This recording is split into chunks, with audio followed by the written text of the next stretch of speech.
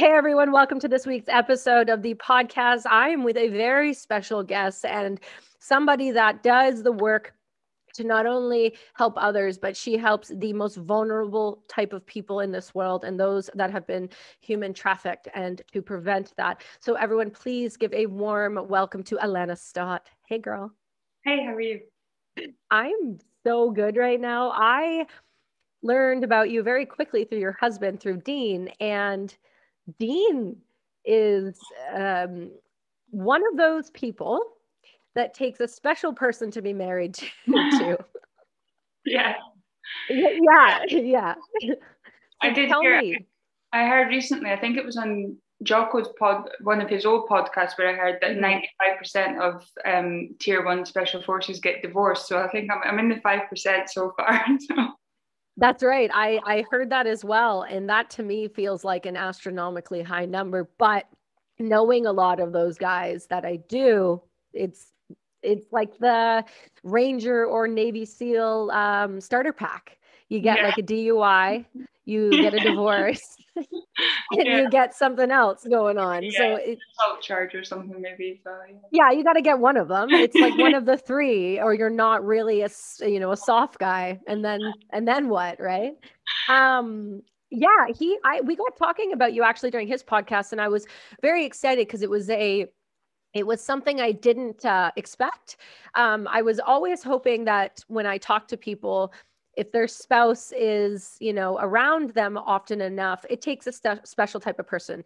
And so I was hoping when he started talking about you that you would be exactly what you are, and and that is such a badass. And so you lived up to the hype, and I'm so excited to be able to chat with you today, um, and for our listeners to learn a lot more about what you do, because I believe what you do is what is so necessary, but also so underlooked and overlooked and not in the media. It's not brought up enough. It's not discussed enough. And maybe I'm wrong here and maybe I'm speaking out of turn. So correct me. But I feel like if this was an ongoing conversation in the public, the awareness factor, the idea, the signs and things to look for um, with victims and and those that that you know unfortunately get trafficked we might be able to prevent um, future trafficking victims from happening so please tell us a little bit more about what you do in that world Yeah, so I mean, trafficking was something that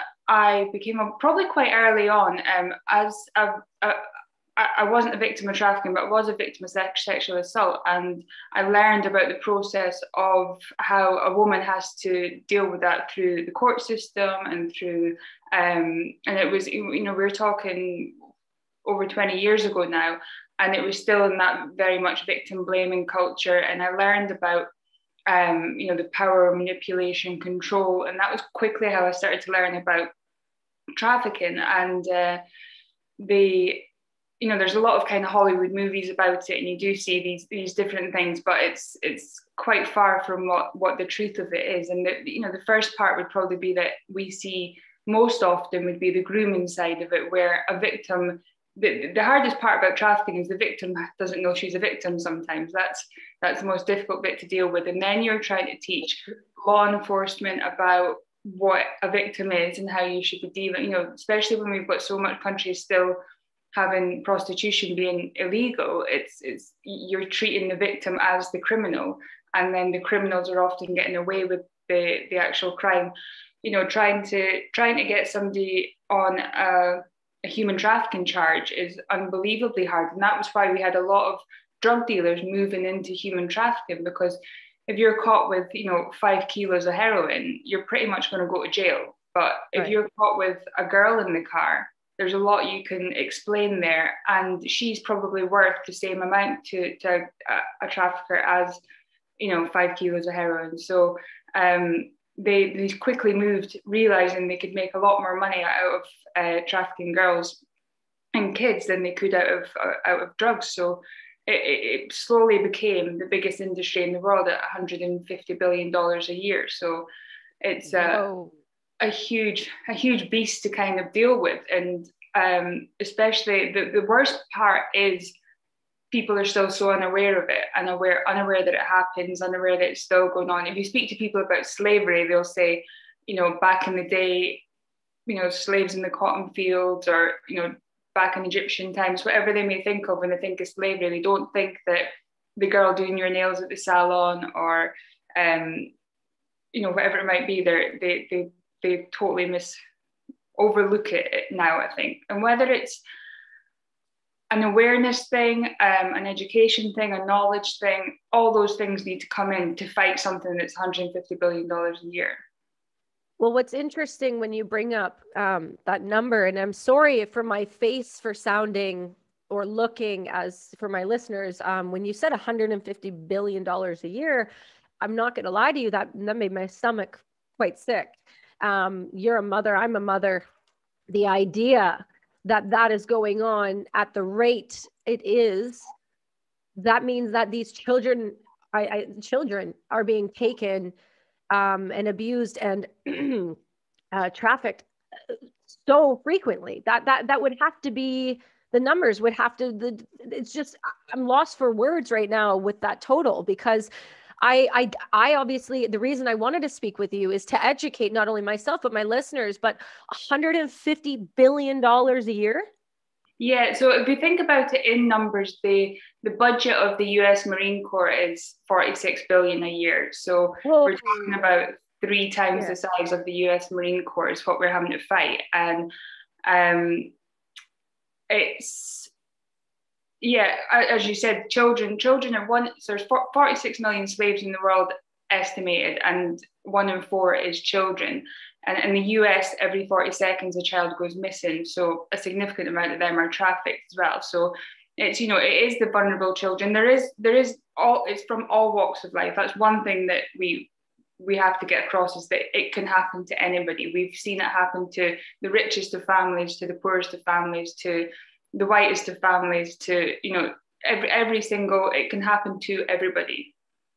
I'm just wow. Um, when you and i don't want to pry so let me know when to stop you said that you were a victim um, of sexual assault and that to me first off i'm very sorry to hear that i know obviously the type of woman you are now you have worked through those scars never leave a person but you have learned the ins and outs and what it's truly like to go through the system i wanted to I, there's so much to unpack here so just bear with me when something like that, I'm going to start with that. If you don't mind, let's make that the start point because I want to make it a very linear line for people to educate themselves. When somebody goes through an assault like that, it's not always, like you said, a trafficking thing, or it's not always what you thought was a trafficking thing or a type of assault it's a grooming thing it's you're being brought around people you're being you're being told and taught certain things when that happened to you how old were you um, 17. So you were a minor? Yeah. Um, well, yeah, class as a minor here wasn't in the UK. So um, I, oh. yeah, if it had been, so the, the, the, two guys were obviously a lot older.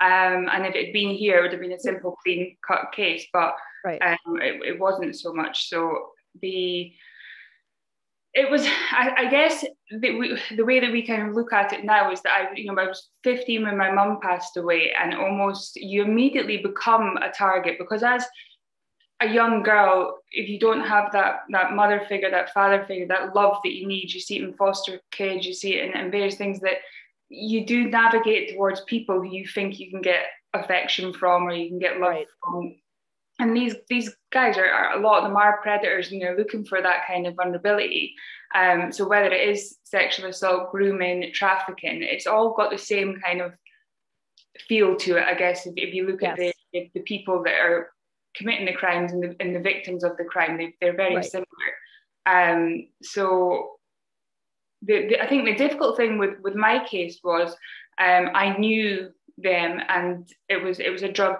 um, incident and um, I actually didn't have any evidence to give, I guess, because I was completely out cold. I didn't know what had actually happened, right. and it, it, was the um, perpetrators who who told the police what happened. So they almost confessed without actually knowing they were confessing.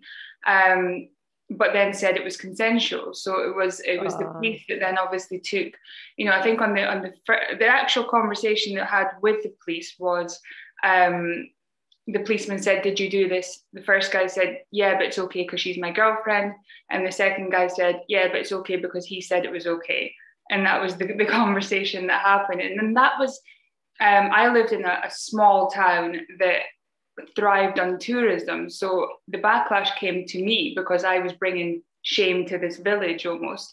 And, and I think that, you know, that what I always say about sexual assault is the actual, however long, five minutes, an hour, whatever it takes of the sexual assault is, is never the damaging part. Of course, it's damaging, but it's the aftermath, it's the fallout, it's the way you're treated, the way you feel, the way you behave. Everything mm-hmm. that comes with it is the damage, the damage that keeps happening. Um, I mean, when it happened to me, I had a, a male medical examiner. Um, and was, yeah, so it was, he was, he'd been woke up in the middle of the night to come out. And it was a case of stand on that sheet, take your clothes off, you know, open, like it was horrible. And it you were traumatized again and yeah, again and again. And it happens to, you know, when trafficking victims are rescued, there's often like a big bust, you know, a group of SWAT guys or whatever will go in grab these girls, pull them out, arrest them, put them into a cell. You know, again, it's just re traumatizing over and over again. And anybody who's ever suffered with PTSD will know that those things just keep those triggers going and just making them worse and worse. So there's there's there's a lot of education needed in that side of things in the law enforcement side as well. And, and unfortunately, it's, it's all charities that are doing it. It's, it's, it's rarely the governments that are actually working towards it. It's the charities that are having to go in and help law enforcement and court systems and victim support and what's the age of consent and what makes you not what age is a, a considered a minor over in europe? Uh, in, in uk it's 16 so 16 is the, the, the legal um, consent age which it still is at the minute yeah. Mm. um, and I mean, well, one of the guys was 37 for me, and oh, and he um yeah, so it was you know it was pretty obvious what was happening. But I think what what happened with me was that you know the, the town were obviously very angry that I I I'd come forward, but it was that nine other women came forward, and one by one they all dropped out because um they were intimidated, they were threatened, just you know, just like I was. But to me, I'm I'm, I'm one of these people that is super protective of other people, but not always as much of myself. So when I seen these other girls, I was like, no, I need to do something for them to to right. stop that that happening. Um, but yeah, then the, the court system was very much you've got to prove that that this happened, which is very difficult when you can't remember anything that actually happened. So the uh, burden of proof was on you. It wasn't on those to prove yeah. that they. It, it, should be reversed. Is it? Yeah. Should it not? It, it, has now. They've changed it now with the whole. Um, the, the system did change that they have to to prove that there was consent given, but it took a long time.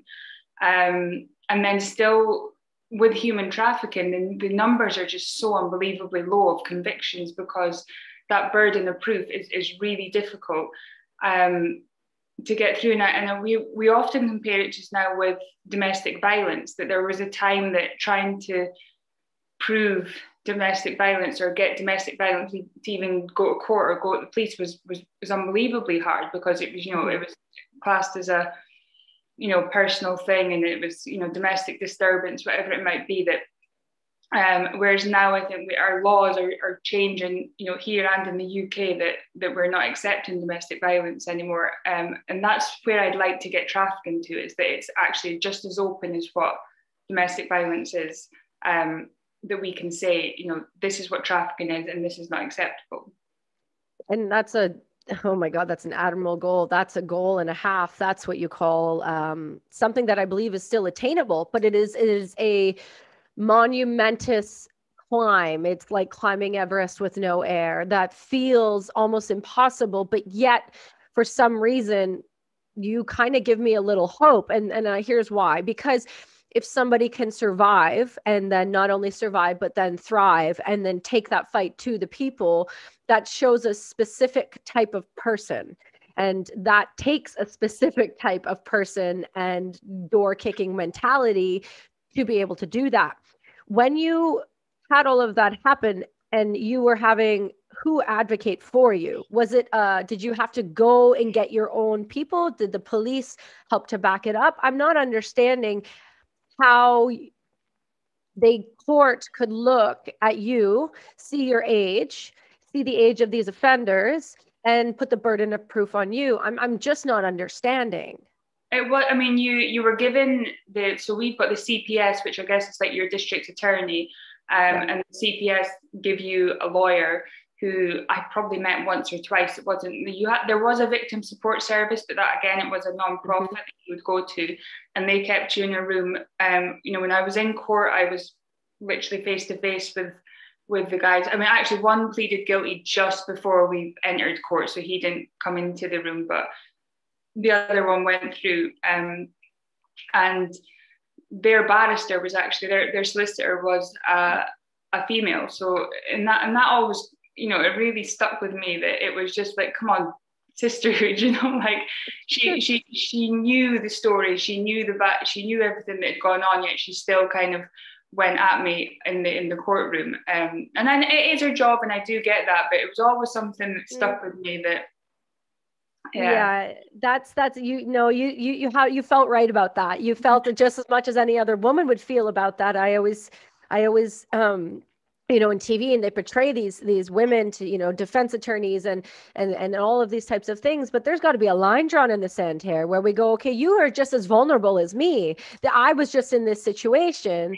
I just happened to be that person in that time. That could have easily happened to you. And so to see somebody going at you like that i'm i'm very sorry that that happened to you. Um, i'm not glad it happened to you but what i am glad for is that you were exposed to this in order to help prevent this from happening and i think that's like you said, you're protective.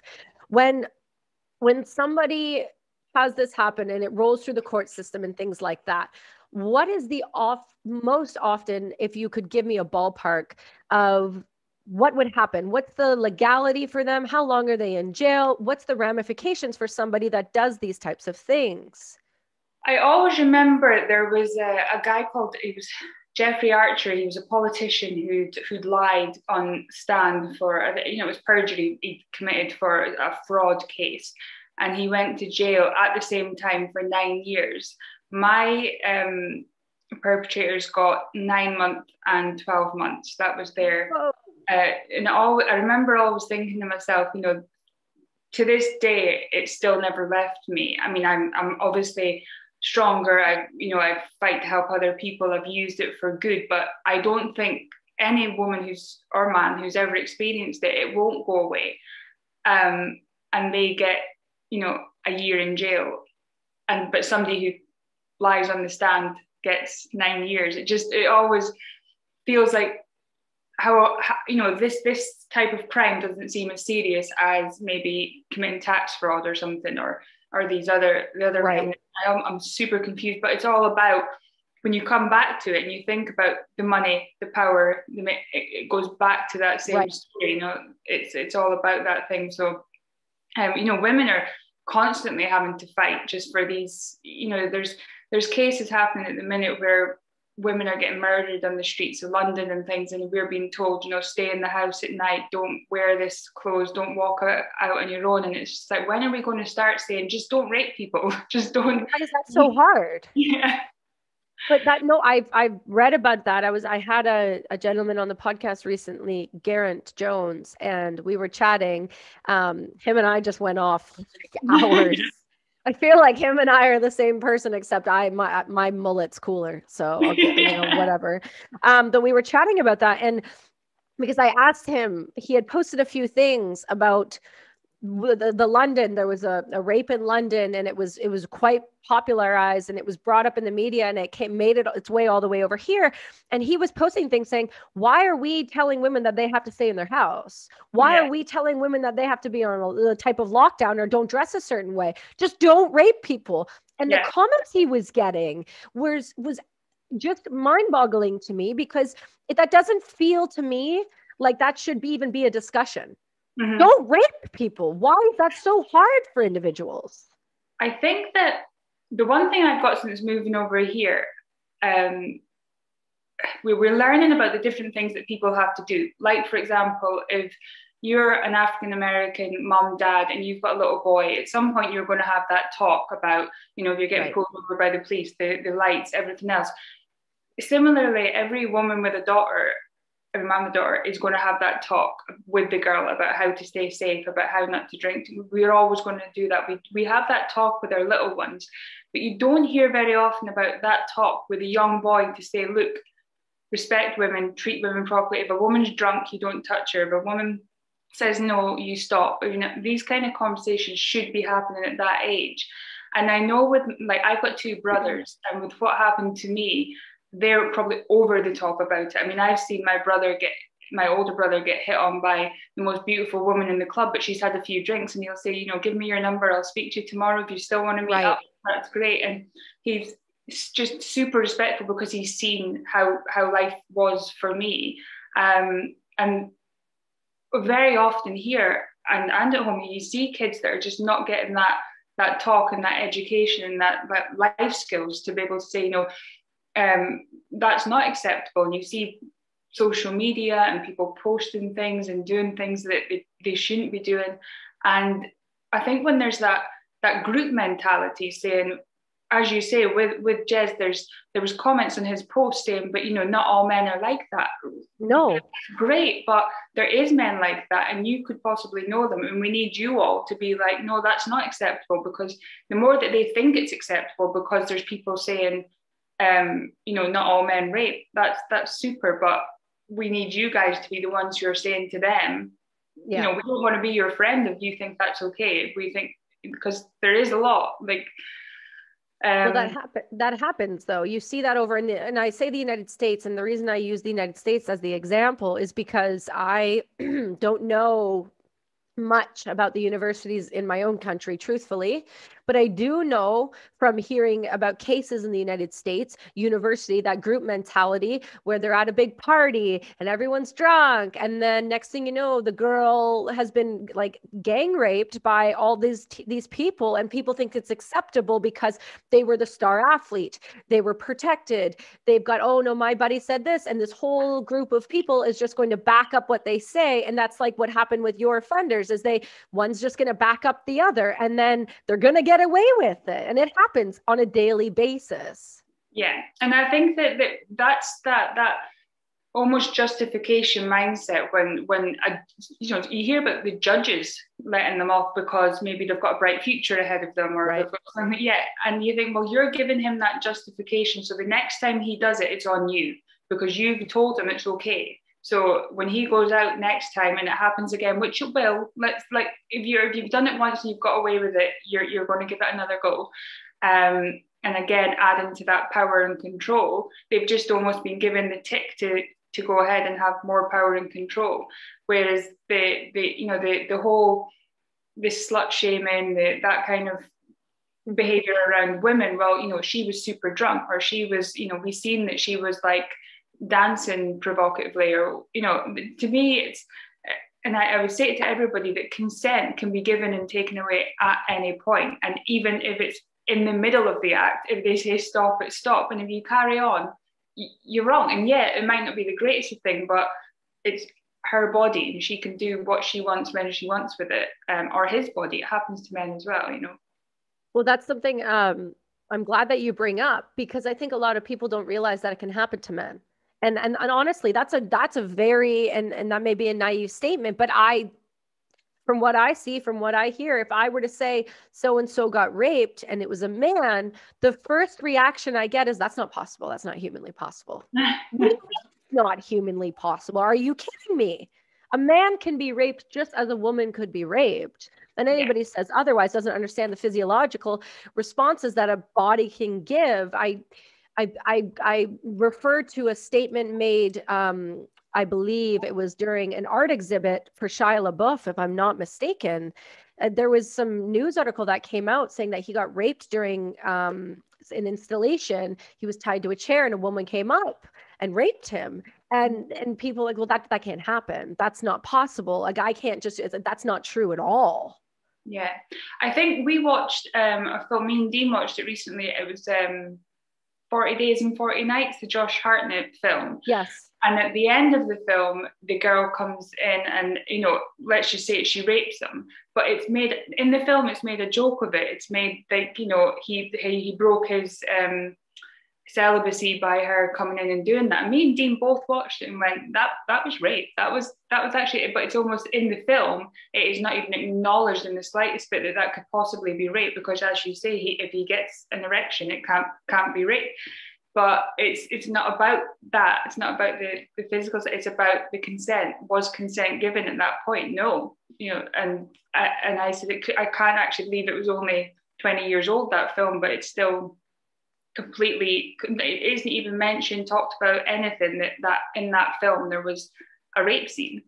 Um i'd be interested to see um when you start making enough noise which i think is coming very quickly i don't i don't foresee it taking very long. I'd like to see that rectified. I'd like to see those conversations happen where it's not just about a woman it's about a man. And i think it's because we're all equal. Like you say when you it's about consent it has nothing to do with anything but consent. And if somebody is not giving that consent or is taking it away it's it is just not okay and period. And i know there are uh now in our i want to say in our day and age so i'm you know in the net in the last like five years i would say you're starting to see series and film come out where they're starting to address this on a bigger level. And i know there was one that came out um, i think it was 13 reasons why 13 reasons why does that make sense? It was uh, on netflix and it was about a girl who committed suicide and yeah and it was a it blew up about this you know g- giving an idea they were saying this is perpetuating ideas for suicidal attempts and and a call for help it's like well no she was raped mm-hmm. by a mm-hmm. high school teammate no one believed her this is yeah. where it started no one gave her the benefit of the doubt because it was a varsity football star that raped her and no one was going to believe her over that that drove her to suicide and then they took this whole series and they made it about well, this is idolizing suicide. This is idolizing ideas of all of that. It's like you're, you're missing the whole component as to why this girl was in such distress where she felt like this was her only option. And the reason I bring that up is because there is, in my mind, there is two ways to look at it. And if you're not looking at the reason why it happened, you're never going to fix the, the end result. You're never going to be able to to rectify it or correct it or prevent it from happening again. Yeah. And i think there were you know when you look at that that one in particular the, the focus was to try and prove that this guy didn't do it or to say that he didn't do it.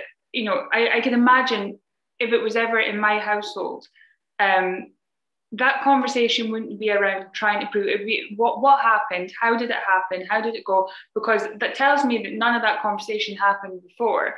But I mm. I actually remember watching that with Dean, and I and I said that the one saving grace that I've got from from my experience was that there was no social media at the time because I couldn't imagine. Um, I mean, I received so much abuse and so much threats and just completely. And I remember at one point just sitting there thinking I just wanted to end it all. You know, I never I never got to that stage, and luckily I never done it. But I remember just that feeling of that overwhelmingness. If there'd been social media as well, I can't imagine what it would have been like if you were just getting attacked and attacked and attacked um, for something that, that's happened to you. And yet, don't get me wrong, there are people that make false allegations, and I, I know that that exists, but it really is minority of of the of the the amount of victims that actually come forward is so so low um, in comparison to what actually goes on and um, I've just lost my train of thought. It's okay. It's okay. no, but when, when I, am glad you brought up the social media point. I think that's incredibly um, important to touch on, especially because social media not only will it, in my opinion, drive somebody who's just been assaulted to have to take on a whole new subset of people making comments and posting photos and and making them feel some kind of way. But i also feel like social media has to be a big component of trafficking and the ability to find people and the ability to take people. And am i wrong on this?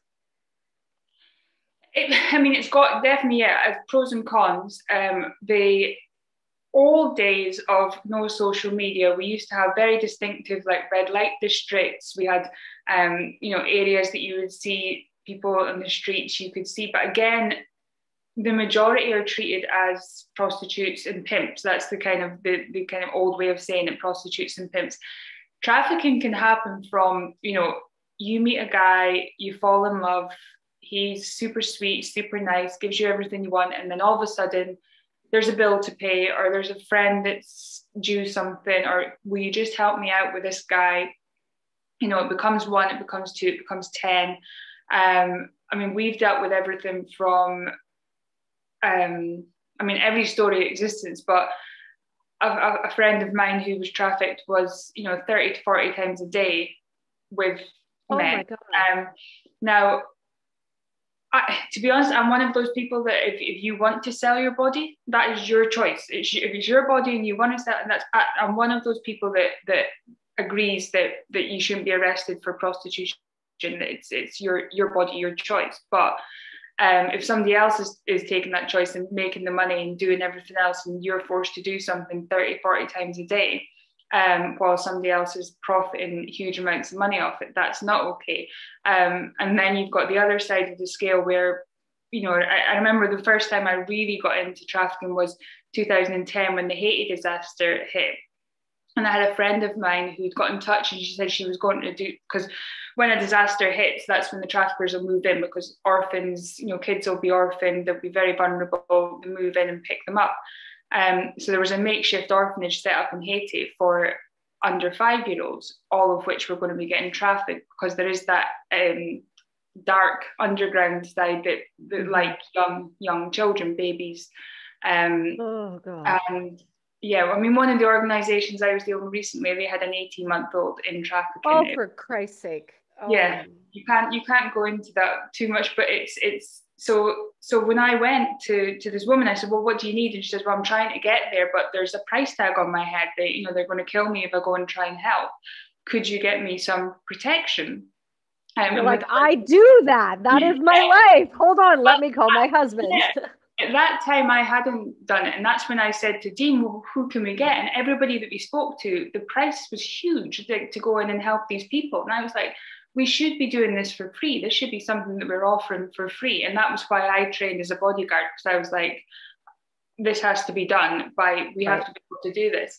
Um, but yeah, I mean, it's industry upon industry. You're kind of dealing with people that are making money from it, people that are doing kidnap and rescue, people that are doing the trafficking. It's just all business. While this one little victim is the one who's who's suffering all the way, all the way along. And yeah, and then you've got the aftermath of it all, which is the the PTSD, the trauma, um, the the re-traumatization they've got to go through, and then trying to get that to court is such a difficult task for police, for court systems, and for and for the victims. So trafficking is such a, a huge trade because they get away with it is is the biggest thing. Why I would say why do they get away with it? But it, there has to be people being paid off on some level here because there's no way you cross borders with large amounts of humans and people turn the other way. You just don't. Yeah. I think the involvement, I mean, we've seen everything from FBI, judges, um, the involvement's huge. There's, there's, there's, I mean, it's 150 billion dollars a year. So as much as what the drug trade would have people involved in the border crossings, it's the same, it's the same thing. But now we're dealing with with people, um, and it's from you know, I we, I mean, sexual slavery is my biggest passion to fight, but the forced labor, the domestic servitude, the you know even organ harvesting. There's everything that goes on, um, and I think that the, the, the biggest thing that I want to start getting people to do is even if we started from the start and just started cutting their supply lines, you know, there's huge businesses that are using forced labor right. and making huge profits off it. You know, famous names that are, are making a lot of money from forced labor. If we Can stop buying, um, Nike was one, um, and they've they've been pulled up quite a bit lately. So we'll, we'll say that we'll give them the benefit of the doubt that they're starting to work on it. There was a Boohoo, which was in the UK. They got some serious ramifications, but even in their UK staff, they weren't paying properly. So they the difficulty see is you've got the, the, supply chain that can go all the way through to Bangladesh, and then you're trying to work um, on that, yeah, on that. Um, and it, you know, people are saying, well, at least they've got a job, at least they're working, yeah, but 20 hours a day on a machine for no money while you sleep on the floor for the last four hours is not a life. It's not.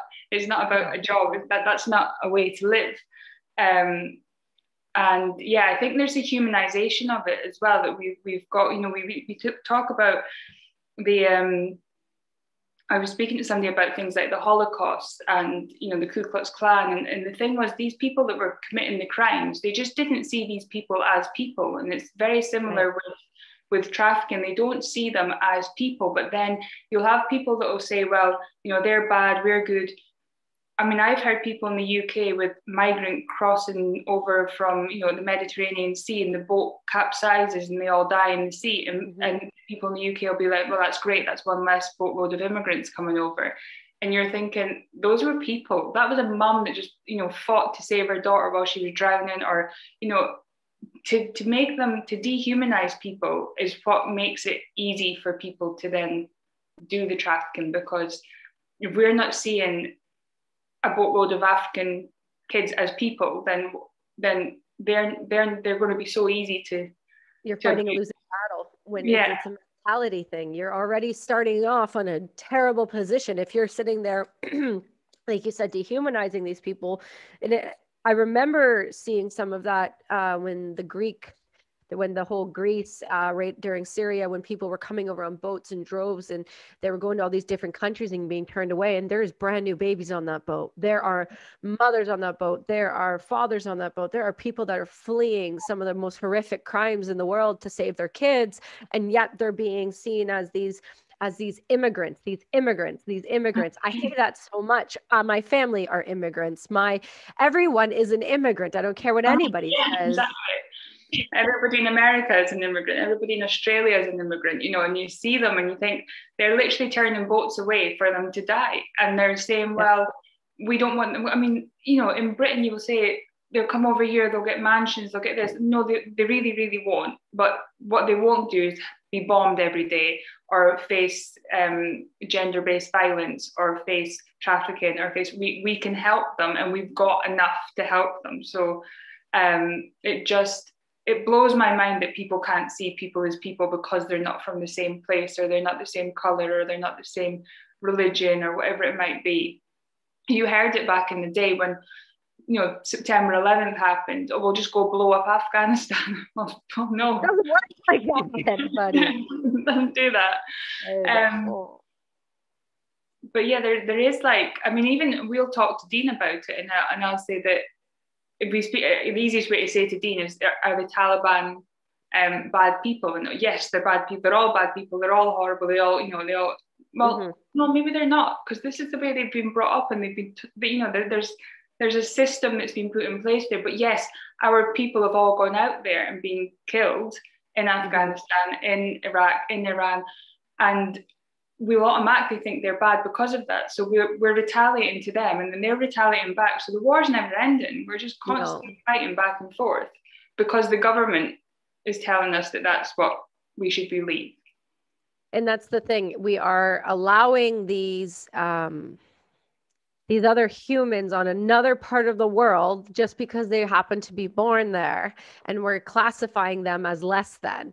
And it was the same when i went to afghanistan. And i talked to dean about this i never got to see like dean and i had this conversation when you're building relationships and he's going to these places. He's on the streets. He's in civvy clothes. He's dressed like an afghani. He's meeting with these families. He's meeting with these kids. And the more and more and more and the longer i'm out and the more and more people i speak with that work with these uh, I'd say th- borderline third world countries because let's let's make it um, as clear as it is they don't have a lot. And if you go out into these villages they have nothing. Most of them don't have running water. So how can you expect to educate or have these people understand anything Mm-hmm. These people are vulnerable, whether they're born in Afghanistan, Iraq, or Iran, or they're born in the middle of China. Like they're vulnerable. They're not, it's not just a Middle East issue. You've got people in, Bang, like you said, Bangladesh, Thailand. Like there yeah. are some of the most trafficked humans in the whole wide world.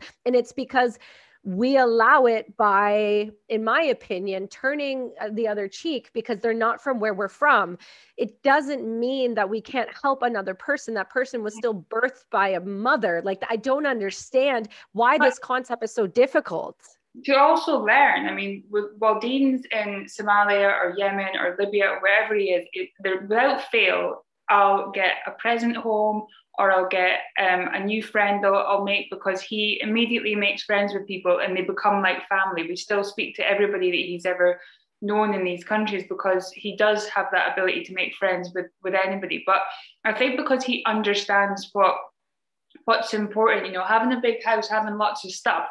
Um, when you, I mean, I remember traveling through Guatemala and these kids were all just playing outside and they were just playing with like sticks and stones and going across the stream, and not one iPad amongst them, not a phone amongst them, and they were laughing so loud. It was just mm-hmm. so much fun. And then sometimes you'll just walk around here, and the, you know the iPad's out, nobody's talking to each other, nobody's interacting with each other, and you're thinking.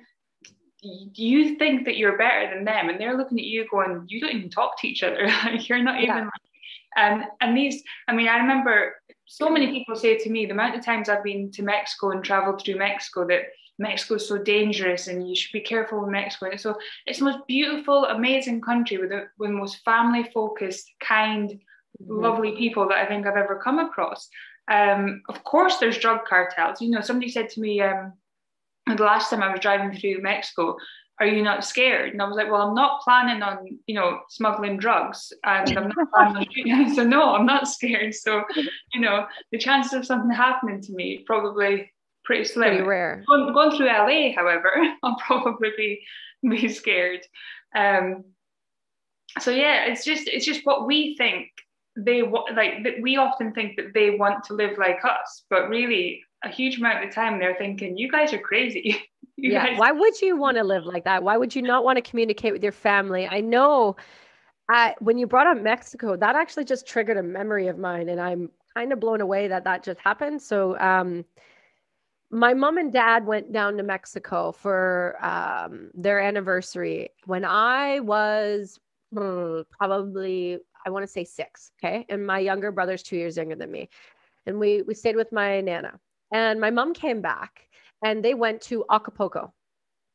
So my mom's walking around. My mom's very much an outgoing, conversational. She just wants to help everyone. She has this heart of gold. And she showed me this picture, and I'm now just realizing what the hell she meant because I'm literally just realizing it right now.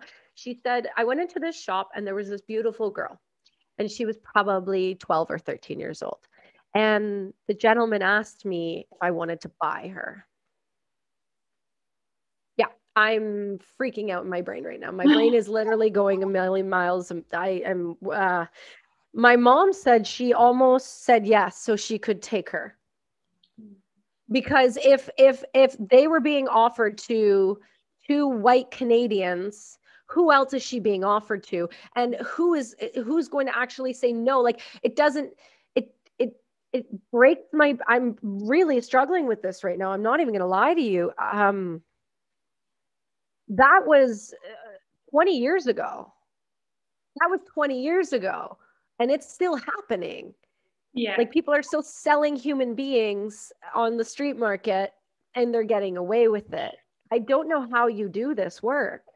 Yeah it's i mean we've we because of the online as you've just said it's a lot more of it is online and the, the dark web and there's that that that's going on. A lot of it's just chain. But if you do go to um uh, Uganda. There's a there's a market in Uganda where you can actually go and buy, like you were going to go and buy fruit and veg, or that you were going to go and buy. You can still walk into this market on a Thursday afternoon and go and buy children from from it.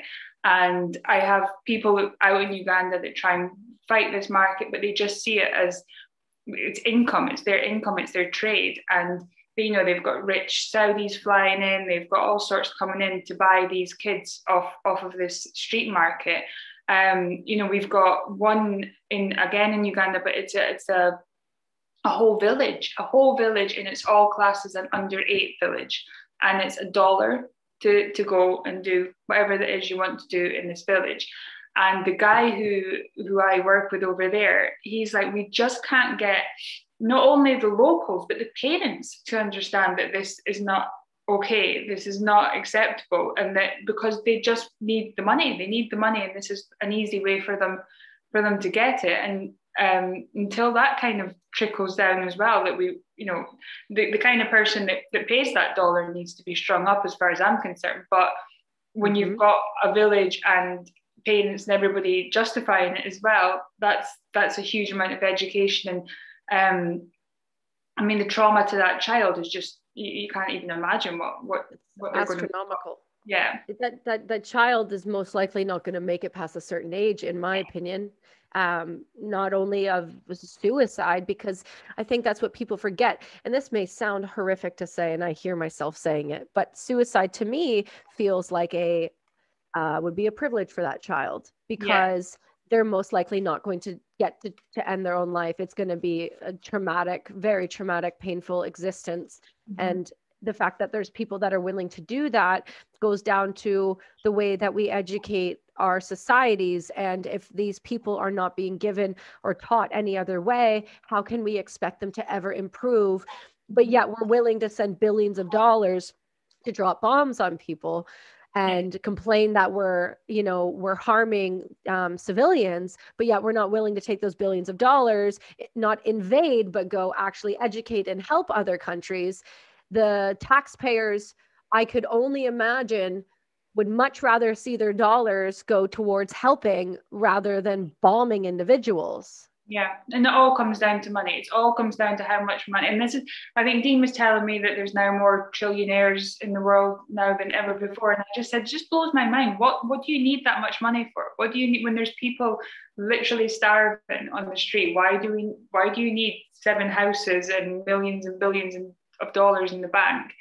When we've got a world where you know we've got 10 million children in Yemen starving right now, like literally starving to death. Yet you've you've just went and bought your 15th Maserati or whatever it might be. Like, where does that compute? I mean, it just doesn't doesn't fit in my head, and I just don't get um, where it all comes from. But it does, and I think that I've been trying to work out for a long time. And I said, Dean was like, What do you want? And I said, I want to end slavery. And he was like, Okay, but it's been around for a very long time. And I was like, Yeah, but I really do think that we're starting to move into a world that we're not accepting stuff like we used to. You know, um, right. what happened to to George Floyd? It caused such a, a huge movement. And and while while that's great, and while I think that's fantastic, and we're pulling down statues of slave owners and stuff, and it's like there's still slaves in the world today. Why don't you use yeah. all that anger and fight what, what's actually still happening? Um, and it's not a black white thing, it's, it's a humanity thing. We, we need to right. fight the actual people who are trafficking slaves today, not. Hmm. So I want to ask you something then. Um, do you think if we were to and, and correct me if i'm wrong and i'm i know this information i can't believe i'm oh god i can't even believe i'm going to say this. I know this information based off of a comedian set. Um, is it true that australia has legalized prostitution? Oh i don't know. I, I, I heard something about that actually. Um, um, jim jefferies is it jim jefferies? Jeff anyway, he is Australian guy. He's an Australian comedian, and it was the first time I had heard uh, something like this, and I kind of caught. I was like taken back by it because I know um, there's been a fight for a long time for sex workers because I'm not I don't want to call them prostitutes because there's a difference between a sex worker who wants like you said to th- that's her body her choice his body his choice. If that's what he wants to do and he's comfortable with that and he's doing it on his own fruition and he's taking his own money then all the power to you. You do what you want to do. And then I remember them saying that uh, he took a friend of his or something to a brothel and it's legal in Australia. So I could be wrong on that I've got the world's worst memory, so okay. I could have something recent. But I mean, I know things like in Amsterdam, the Netherlands. Yes, trafficking still goes on, but it's it's it's illegal. You know, it's right. illegal to travel. It's it's legal to to um, sex work and prostitution, whatever it may be, is legal at an age, an age limit. Um, human trafficking is not. So it's it's a lot easier for them to say, well, actually, you know, you are selling that person. They don't want to be sold because right. it, it's more it's more obvious. Um, I mean, we've got there was there. I mean, there's a huge thing with the military as well that that trying to get them to understand when they're away on tours or, or whatever it might be that you know this is used as a weapon almost as well. So we you know yeah. trying to get them to stop that too. I mean, it's the, the list could go on and on. I remember I left um, the UK and I'd gone to this doctor and he'd asked me what it was that I do. And I said I worked in, in human trafficking. And he was like, what? Said, like, like slavery. And he said, oh, does that still exist? And this was a doctor. And I said to him, I was like, you of all people should know it does exist because you're looking for the signs. You're meant to be there in the front line looking for this. Um, and that was that was worrying to me because they're going to be the first ones, the, the grooming, um, and and you see these. Um, I remember speaking to somebody about some of these girls that are, are, you know, you can imagine they want them to be like the movies where they're super sweet, innocent little girls that have just been abused and they give a big hug when their rescuer comes in and everybody's happy and everyone's safe. And it's like, no, they're angry, they're violent, they're aggressive, they'll they'll shout, they'll swear, they'll be the most like horrible little people you ever come across because inside them there's there's just nothing but pure rage. Um, mm-hmm. and and I think almost like when people see that they, they they treat them badly straight away. You know, this little angry little girl who's um, you know, got a mouth on her and she's tough and she's aggressive. She's had to learn to be that way. And that's where mm-hmm. I um you know, I think the law enforcement side of it is, is still needing so much education on that that you know these girls are, are not going to come to you and give you a big hug and say thank you for rescuing me. They're they're they're going to fight. Um, they're going to fight. Yeah, and I was working, you know, the, the Orange Trafficking Human Ta- Orange County Human Trafficking Task Force. They say they were, you know, they were, we're still they're learning here. They're they are picking up on things, but the rest of the country has still got so much, so much to work on. And here it's got so much to work on. But it's it's a world thing, and I think that's one thing that, that I find that we need something because it's an international law that I think is needed, and we don't have that international law. You know, slavery is illegal everywhere. I think Mauritania was the last one to make it illegal, but um, it was only a criminal offence in 2007. So it's taken till 2007 for the world to be illegal for slavery. However, it still goes on everywhere 46 million slaves. So um, it's not being taken seriously enough. If to me, something that's completely illegal the world wide over has got 46 million slaves with 150 billion dollars a year industry. The countries are not taking it seriously enough. Um, so a lot of work to be done. There is a lot of work. I want to ask you another question. Um, do you see if we were to start doing what oregon has done we were start to decriminalize drugs do you see that as a factor that would help trafficking or be more of a hindrance and cause more human trafficking to come through because drugs aren't the choice of um, way to make money at this point if they start to decriminalize all drugs? Um i guess criminalizing things i mean things like marijuana and stuff it just to me it's kind of a no, a no-brainer. I don't even know why it is a criminal offense anyway but when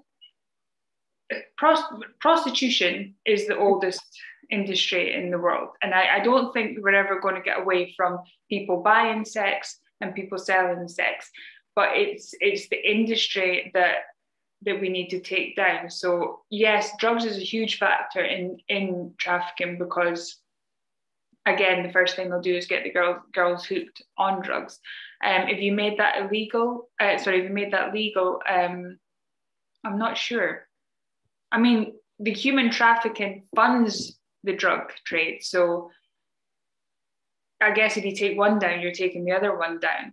Um, and everything else, the the environmental impact, the you know, we've got the fast fashion industry, you know, for every time you buy one of these cheap t-shirts or whatever it might be, there you're you're funding. Um, I, I think you can work out, but I think the average American's got 30 to 40 slaves working for them on an every daily basis when you think about the clothes you wear, the phones, you know, the the products you use, things like that, that that if we can if we can take that side of it down, I'm going off on a tangent now, but no, it's okay. Go ahead. It's um the things like if you cut if you cut that supply line off, if you say, well, actually, do you know what? Does your is your supply chain slavery free? And if the answer is no, well, I'm not going to use your product. If we if we all done that, then we're taking away a huge amount of the industry. Yes, you've still got this, the, the sexual slavery, but if you're cutting the profitability of this this business down, then less people are going to be coming into it. And if we were recognizing um, the signs of sex trafficking and abuse and you know porn sites that, that are that are advertising these things. And um, again totally if you're doing it on your own back and you're doing it and you've signed consent forms and you've done all these things but the things with like i mean pornhub and a, a few other sites are starting to work a bit harder. When your mastercard have um, said no to pornhub now um, but again again on the tangent but the damage that these things do to young girls, you know, from videos that are being uploaded without any consent forms needed signed and things. It's just right. unbelievable that that is even allowed, but it's internet. Well, that's the thing. The internet is that wild, wild west, and that's only the sides uh, that the general public see. Most people don't know how to access torrent and the black web, Tor, and all of those things. And and thank God for that, because if they did, could you imagine how much worse it could actually get. Um, when you're talking about these supply chains, I find it fascinating. You bring up fast fashion. So, this is my world now. So, I like this. I'm glad you're bringing this up. I'm super happy to hear that you're calling it out for what it is you see these people building uh, clothing brands you see these people everybody can have a brand now right everybody can do it whether it's through um, you know made to print whether it's from working with countries that have terrible laws and inhumanity um, i have multiple factories in china that i go and visit on a regular basis to make sure and approve and check and be there and check and see exactly who's working for me because at the end of the day the number one thing you're you're looking at is and and i'm talking on right now i'm talking on an apple product okay, well, let's talk about how what Apple really does. Apple has nets outside their buildings. You're born into it and then you work for these factories and and yeah, you're working for Apple, but don't don't tell me that any factory that's doing the right thing, that's treating their employees properly, that's not driving some type of slave labor, would need a net outside their building because yeah. that many people are jumping on a regular basis and they don't even want to they're not even saying okay you're going to jump let you know you're in that much pain jump no no no we're going to catch you we're going to pull you back in and we're going to continue to recycle your ass because we're not even going to allow you to end your own life they've yeah. taken that right away yeah and i think that um more if we had more people who were saying actually no i want to go and check out that factory and yet you're right i mean we can't we're all we could all um and I, I remember when uh, when Harry and Meghan got a lot, a lot of grief for flying on a private jet and then talking about um, environmental issues and things, and it kind of got me because I was like, we can't. We're, we're trying to do all these things, and yet I'm sitting on with an Apple computer in front of me. Some things like it's you're trying to fight this big fight and you maybe have to take a private jet to go to the place. But i think the work that they do on the other side of it should offset of, it. Yeah it kind of offsets that. Um, and yeah we can all be a bit hypocritical. We, we were all you know do i own something that's maybe yeah probably but if you're aware of it um, you can start to to to make these dents and stopping it happen. Um, and you know, it's, it is difficult because there's probably if, if, if, I could come across somebody who's never used anything in slavery or anything to then uh, you know it'd be. But uh, every person that with who works in the industry is guilty at some point of driving a car or that you can't be 100% but it's just if you could at least make those small steps to saying actually no i'm not going to you know there's a, a store in the uk called primark and everybody knows that these factories that are making this clothes are are slavery yet people still queue to go in here because it's you know five dollars for a, for a dress or something. And you think well rather than having 20 dresses in your cupboard save up that five dollars and buy a really nice hundred dollar item. Yeah nice quality that it's going to last that you can look at that you can wear. I mean trying to get away from that instant gratification i think is, is yeah. something that would, would make a huge huge impact because you know we all do it. We order from amazon. I mean i couldn't believe when we moved here that i could order something that would be here in two hours. I was like what, why, why would i be desperate enough to need something in two hours? That's insane it breaks my brain a bit when you think that. When you're like it can be it's in your house before. Like my my accountant makes jokes about it on a regular basis. She'll be like i hit place the order. She's like they call me. It's in your house. Like it's, terrifying. We have a right across the street from me, a very newly built Amazon distribution center, and I hate it. I know it sounds ridiculous, but it's these corporations, and and you wonder why people feel it is a lost cause to go after these issues because you're going up against Apple in a two day span makes over a billion dollars. How mm. somebody supposed to fight that? I get, I mean, to me, it would be, I would love to sit down and speak to them and say, what, what part of it do you need this, this volume of wealth and power? Why is it that you right. need it? Because there's something in their head, whether it be Jeff Bezos, who's, they're thinking, I need this amount of power and I need this amount of money. And I don't think they've got the right. I think it's almost like you just need to give them a little bit of a mummy cuddle. There's something that, that is missing. missing. yeah. Just come here. Let me hold you close to the chest. You don't need a billion dollars. You can share your money, share yeah. your toys. It's okay if somebody doesn't like it. It's going to be okay. But it comes down to how we we educate our kids. And before I get into that, I want to just backtrack a little bit with the Meghan and Harry thing because I know you're quite close with them.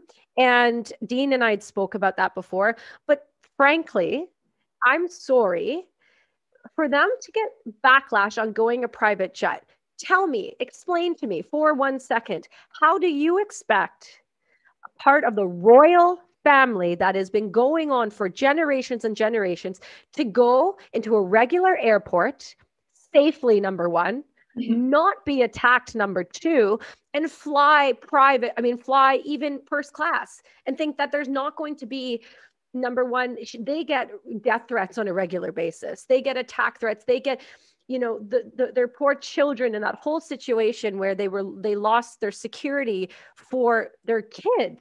And then you give them grief for trying to keep their kids safe and themselves safe by flying on a private jet. Sorry but suck it. I'll take a private jet all day long if i'm that type of person. You can't expect there's levels to people and i don't care what anyone says that may sound horrifying and horrific to say, but there are levels. There are everyday people. My, I come from everyday people. I come from truck drivers. I come from hardworking. You know, I was never told no, but I come from hardworking families. I was in, you know, truck stops with my dad, where my dad's like, "You never let go of my hand. You never ever let go of my hand," because the reality is the trafficking is there. Then you mm. get to the next level of people where there is now wants to take their children's based on ransoms. And then you get to meghan and harry's level of people. And it's not that anyone's better than anybody but they're in the public eye and you cannot expect a human being to not do everything they can to protect their children and themselves when there are people that are constantly trying to do them harm. There is no rhyme or reason for that. That's just that's disgusting for anyone to comment otherwise. But then what we'll do, I mean, I think you know, Harry fell in love with Meghan, and I, and I, I, always say it's similar to me and Dean. We came up, we came together because we've got that love for helping people, and we've got that kind of fight, and that's what you know always brings us back everything we do. We always want to be helping helping someone. And when Harry met Meghan, it was it was the same. He could he saw that in her, and he thought I can do something with her. They got together. They wanted to do it. The problem that was this was she was a woman. She was a woman with a life who had a voice, who had an opinion, and that wasn't acceptable for for the. Right. The British press more than anything, they, they needed that nodding dog, the one who would do as she was told, that you know, and she wasn't that person because the nodding dog isn't a way to change the world, and she's she's she's no. going to change so much.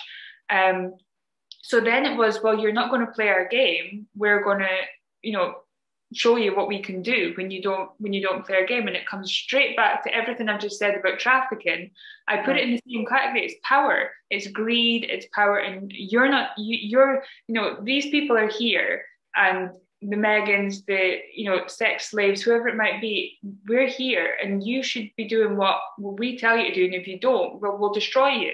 And mm-hmm. that's effectively what they've done with her. And then she's went, well, actually, do you know what? I'm not going to put up with this. I'm going to go back somewhere where I feel safe, where I've got people that. And then, well, actually, now that we've got rid of you, we want you to come back because we need to keep picking on you. We need to keep mm-hmm. hurting you um, well, no, I'm going to stay here, thank you, where I'm safe. Well, well, now we'll just accuse you of everything from genocide to, mm. you know, oh yeah, famines and whatever else she's caused. she's caused, you know, Meghan, that that poor Meghan. I mean, she's caused. Don't you know? She caused the last hurricane, uh, the the stock market that fell in 2008. That was all her. You guys don't know about this? COVID, that was her. COVID. Oh yeah, she brought it. She brought it from England, and then she also brought all the strains with her in little vials and threw them on all her friends. Like it's ridiculous yeah. that people read this and and and and just think that there is nothing more to it. It happened with his mother. I was the biggest fan of his mother when I was young, and I knew I, I, loved her. Everyone loved her, but they did the same thing to her. This is a repeat playbook. And when you see people taking advantage of someone when they have a voice, that's the difference. If mm. someone is going to stand up and make some noise, you better be ready to be attacked. And she was, but it was done in a way that it harmed not only her, her mental health, which to me, when I, like the rest of the world that watched that interview, that that to me was the probably the most troubling thing because when you come into a family you expect support. I don't care what family it is. If somebody comes to you and tells you that they're struggling and then to be turned away whatever i'm i don't know anything in the inside but i know that's not okay. But the biggest thing that i don't i, I struggle with um, is when you tell someone that they can't be safe or feel safe and that they're not they're not um, good enough to be mm-hmm. given the rights to feel safe in their own home or with their own children and the the trafficking issue with that people cannot people cannot keep going about their lives blindly thinking that what they're told is the truth and that comes back to this trafficking. We're not talking about it in a way that is resonating. We are not smacking people in the face I don't know if we need a shock and awe campaign like we did with Iraq that got everyone's attention and everyone on board to go, holy shit, this is happening. This is happening all the way down to 18 month olds. And yet we just sit there and we continue to act like it's not happening because it's not happening to our kids. It's not happening in North America. It's not happening in the UK. I'm sorry, but it's happening. Mm-hmm. It's happening to everyone. And, and I, I get a grip of that that power struggle that power of control. And I think what Meghan's done with the the British press is she went, actually, no, I'm not accepting that, and I'm not allowing you to abuse me, my family, or anything else. Um, so they turned even harder on her. And you know, me and Dean as friends, we got attacked, and we got articles written about us. We got, you know, my, you know, Twitter trolls, everything. My daughter's school got got met, you know, oh, for God's sake, they can they can do, and they'll they'll try and, and and just if we can't harm you, we're going to harm everybody around you because you're not playing our game. Um, it's you know whether it's with the the the Epstein's, whether it's the Harvey Weinstein, it's, a, it's all that you can you can go back to the same narrative and end, and they think they have they're better and they've got that power and that these girls don't matter. I mean, you heard it. Um, I hate to speak about Prince Andrew, but you heard it in his narrative when he was speaking about the girl. Like, regardless of what the actual true story is, I don't know what the true story is, but what can't be denied is she was a victim of trafficking and right.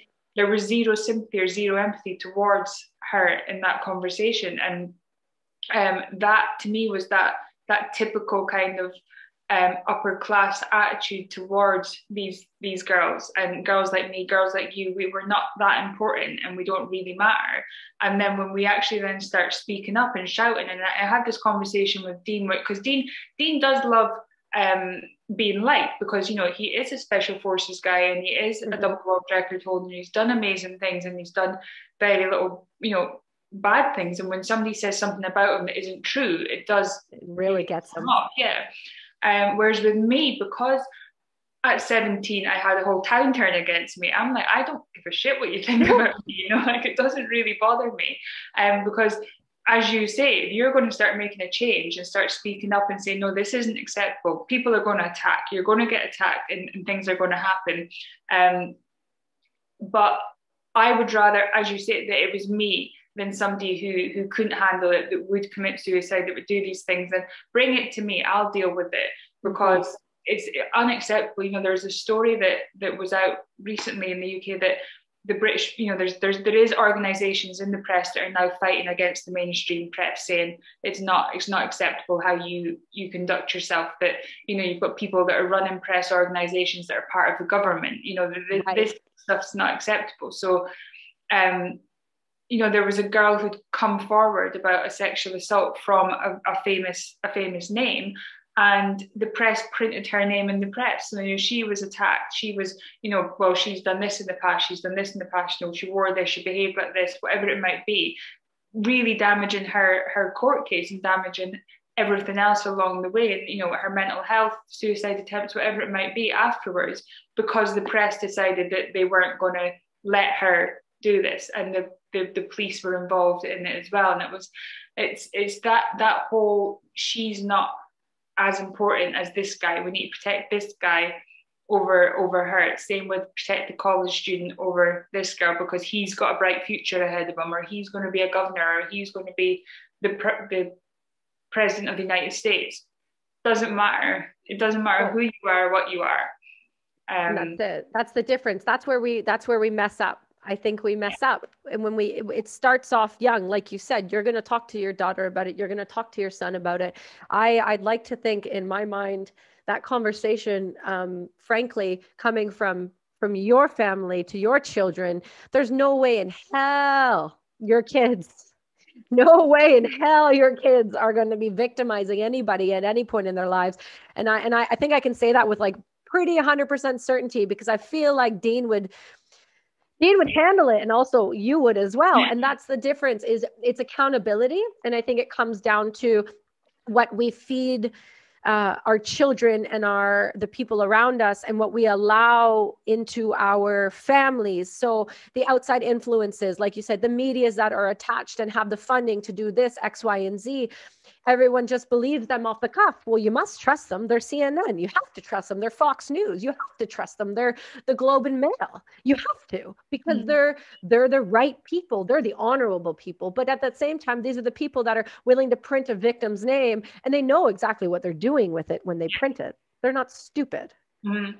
Yeah, exactly. And I think again, if you it's going to take to me, I always say because when you're dealing with something that's three times the size of the Marine Corps or whatever, you, it takes an army to fight that. And it can be that every, and I, as you say, you know, I, my dad's a bus driver.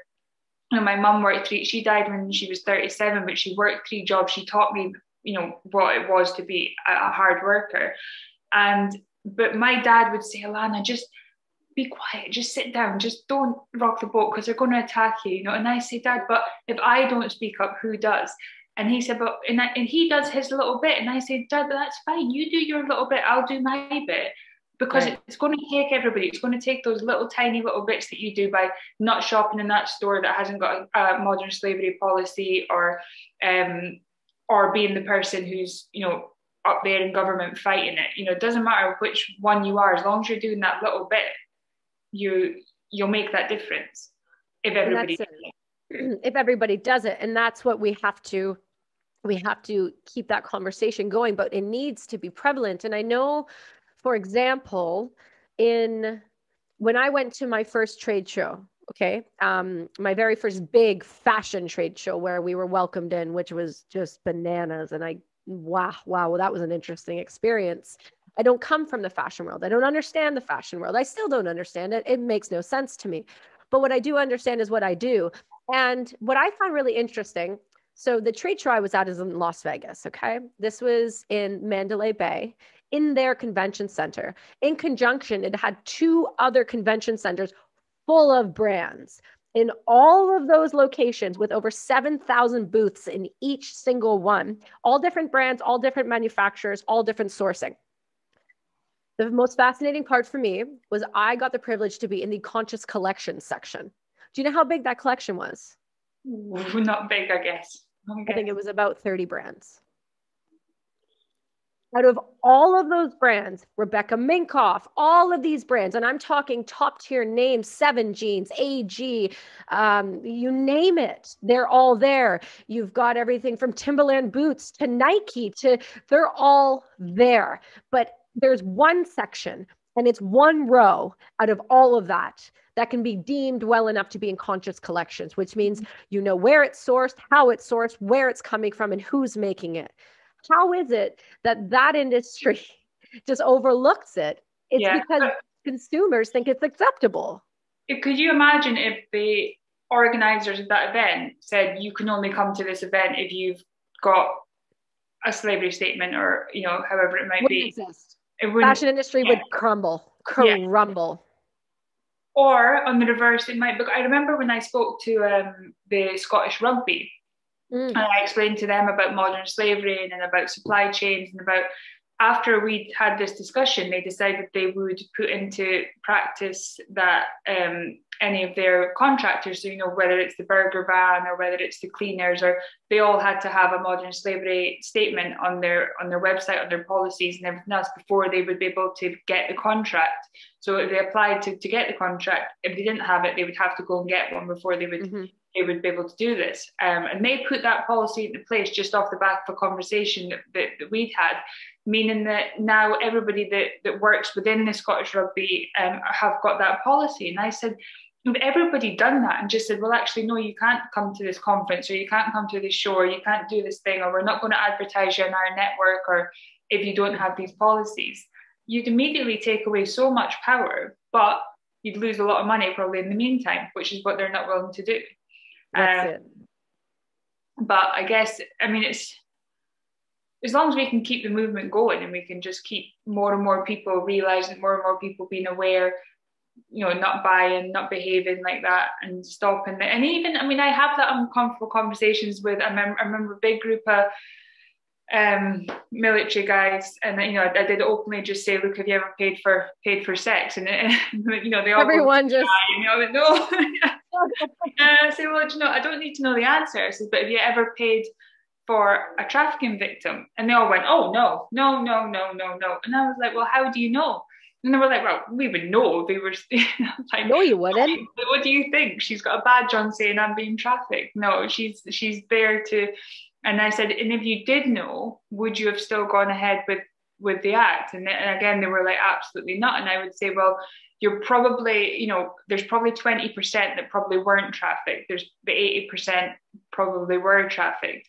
Um, and I said, if, if you can find a way to then, you know, and, that, and that's what I think we're doing. We don't, we don't want to vilify people that that are right. that are doing things that we've been doing forever and a day. But um, to men, they think that all these women are doing it because they want to do it and they're so happy to be with him and they're, you know, maybe some of them are, but um, there are ways to spot the signs. You know, there are conversations you can have, and there are things to speak to to guys about. And if you do go, there plenty of there's plenty of websites that actually teach um, people how to spot the signs, and it can be from me and you to the guy who's who's paying for sex. And I think you know, most men are not bad men. they aren't. And, and, I think if we can kind of stop making them all bad for, for, for doing it and actually say, because yeah, that conversation I had with those guys, most every single one of them was like, no, I wouldn't pay for a traffic victim. Um, but they all put their head down when I asked if they'd, they'd paid for sex. So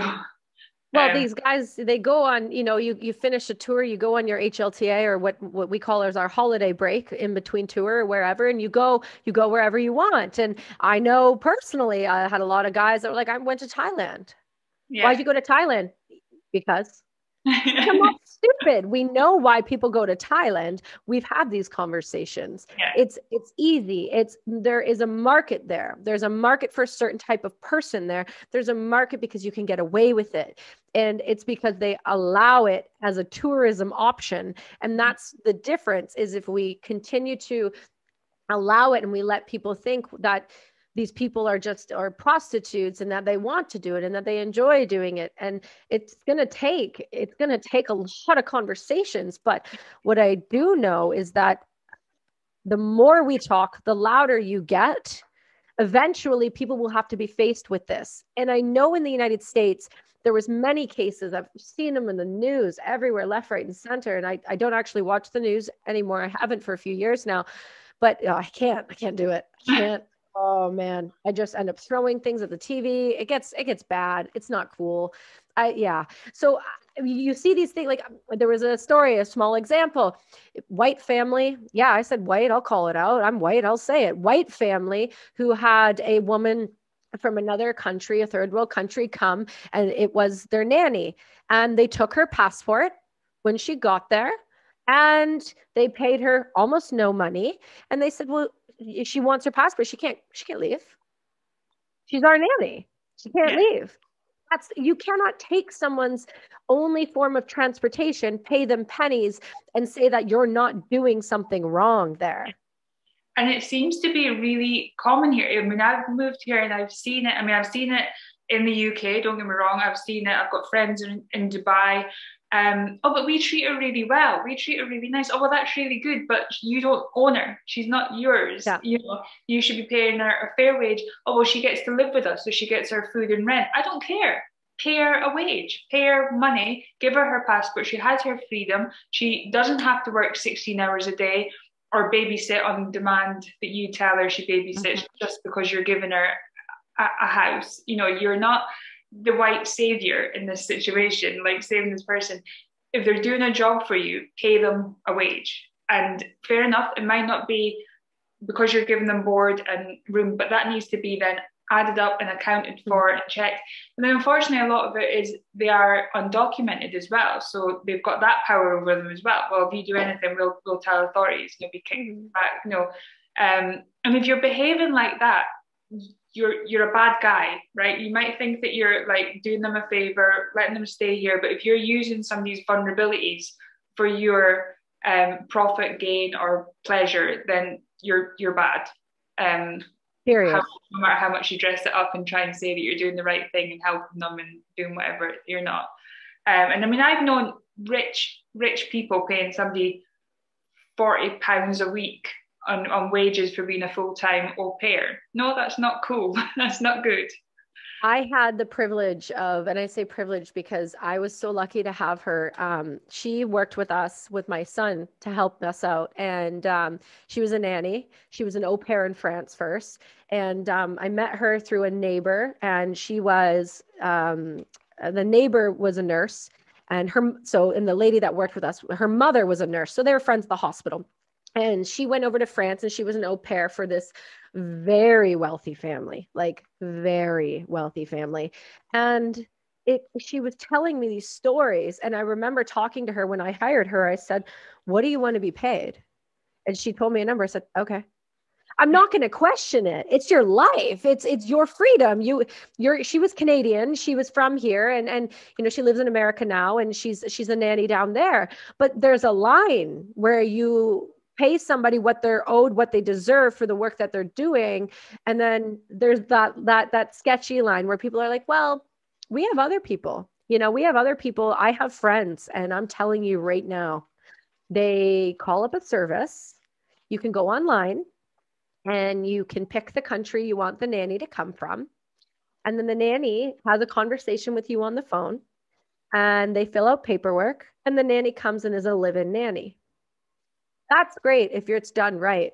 Yeah. But I can tell you, and I'm sure you can see by my reaction, there's no fucking way all these are done right. There's yeah. no, I'm sorry. And then they get passed off so that they can stay. So, like, one, I remember one situation, I won't name names because I doubt she listens to this, but if she did, she'll know exactly who she is, who you had a nanny. Oh, she knows who she is. Um, this is just one of the people I know. This is the worst part. She knows she had the nanny. Nanny didn't work out. So she called a friend. She's like, hey, my nanny's leaving. Um, do you want her? Slave trade. Are you having? You can't just tell someone you're going to live there now. Or maybe you can because the agency that the agency that they hired her from says that's okay as long as she stays in the country a certain amount of time because then she can get her green card. Mm-hmm. Like this is normal behavior. Yeah. Well, yeah, I mean, I had the conversation here with more than one person when, when we first got here because we've got the two kids, and I said, look, it would maybe be good to get a nanny. Well, maybe we think about, it, I don't know what to do. Oh, well, you should get an au pair. You don't have to pay them in. Well, you pay them next to nothing. I said, well, yeah, you do. No, you don't have to pay. No, you do have to pay somebody something. No, no, I'm not saying whatever you do. I'm telling you yeah. that you do have to pay somebody. um, and just because they are getting oh they get the benefits of they can have whatever they want in the fridge. You know like oh well done. Well done you, you know. You can have the ice cream on thursdays. Not saturdays though. That's my ice cream time. don't don't you fuck them. That's the problem. It's it's the, this mindset. But that's what i'm saying. If people that i know who are doctors who are lawyers who live in canada who have money to pay but yet they still go out of the country to hire somebody from India or from Pakistan or from Iraq or for, from Europe for that case, mm-hmm. it, you know, the Russia, from any of these, they automatically assume that these people, this is what they want to do. Well, how, how about we look at that for a second? How about instead of just going, well, this agency looks good and they've got, you know, I know my friend had a nanny from there and it worked out really well. Okay, so maybe we do a little more research. Maybe instead of just finding the easy way out, we sit there and go, okay, well, why why is this person that age and has a family over there, has kids, but is coming here? Why is that? It's what's the what's the more likely um, incidence that's happening? That person is being forced. That person is told, "Well, you need to go there and make money and send the money back." Like, what is the actual reason behind it? And I think that's the difference is we make things so easy yeah. that it's not questioned. No one ever questions it because it's like, oh, well, that's easy. That's not a difficult process. So maybe I just maybe I go that process because it's it's harder to find somebody in Canada and pay them the actual going rate. It's way harder. You actually have to do the work for that. God forbid you had to do the work for something. Mm-hmm. And I think we've seen it when um, they started, almost, and as you say about your mum with the with the little girl, that they there was a trend for a while of celebrities, you know, going across and saving these babies and bringing them back home, and and it became, you know, when when they see that, they'll be like, right, okay, we need to find some babies and we need to find some kids that we can sell because, mm-hmm. um, you know, rich white people are are buying these these babies, and and they think that oh well we're doing them a favor because we're taking them home. No, you're you're starting an industry. You're starting um you know this is this is now going to become an economy for them and they'll they'll use that you know. Um, and I think it even happens here that there's kids bought and sold between between families that aren't going through the system properly because the system is not strong enough to to deal with the volume of, of foster kids and, and kids that are you know I think you know we've seen that foster families get paid money but what what checks are they done? What what happens with them? It's just this lost lost system of lost souls bless them um but yeah, and it's difficult because you do. I mean, I think me and Dean would have a house full of kids if we had if we had a chance. But like, it's it's really it is hard hard work, and I think that um, like we've we've we've discussed it so many times about the work that we do because sometimes you're sometimes you have days like when you're dealing with a five year old being raped or when you're you're dealing with a story of something or you have to sit in front of you know trafficking people or people that have abused kids and speak to them and get information that you know the end of the day your head is pounding you don't you know the last thing you'd ever like dean comes near me i'm just like get away from me like i don't even mm. think about it but and then there's those times where you're like why do you do it but every time that you see these people you just think nah you we've got to keep going until until bigger changes it might not be in my lifetime it might be my my kids that make the change. I don't know, but I'm I'm going to keep doing it until until we see.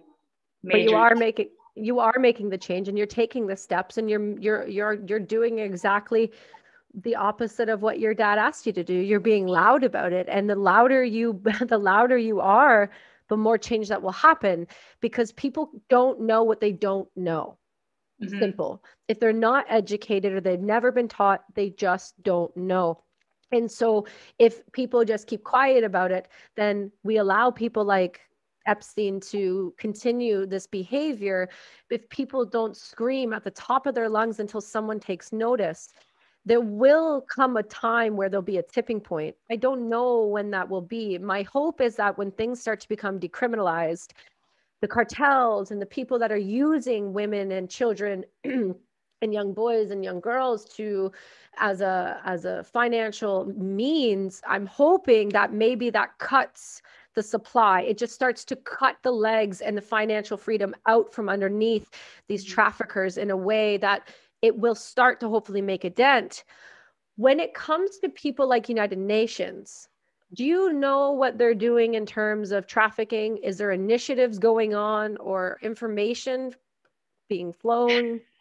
Yeah, again, it's it's all it's all individual country based. So every in the, in the problem with a crime such as trafficking, it's borders, it's crossing borders. You're you're rarely getting a girl trafficked from this country that'll be you know used in this country. It'll be moved to another country. So you've then got border issues. You've then got immigration issues.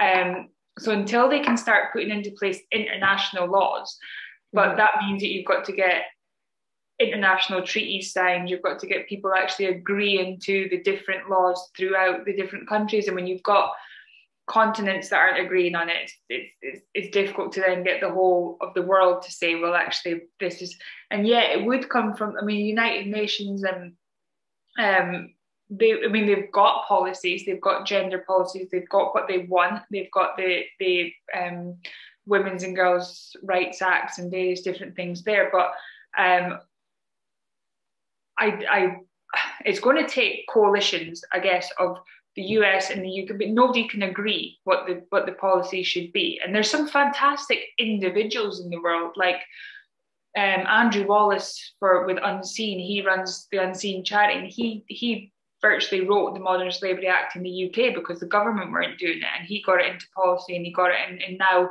it is um, but and basically the modern slavery act says that if you make more than 30 million in revenue you have to have this policy in place.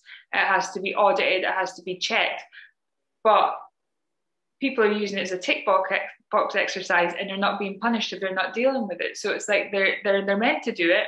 I think only 40% of the 30 million plus companies are actually doing it and they're not being punished for not doing it. So it's like well, very good putting an act into place but if nobody's actually the governments aren't actually following up because it, it's awful to say, but the people in power in governments are often the people that are using these services and they don't want to end it.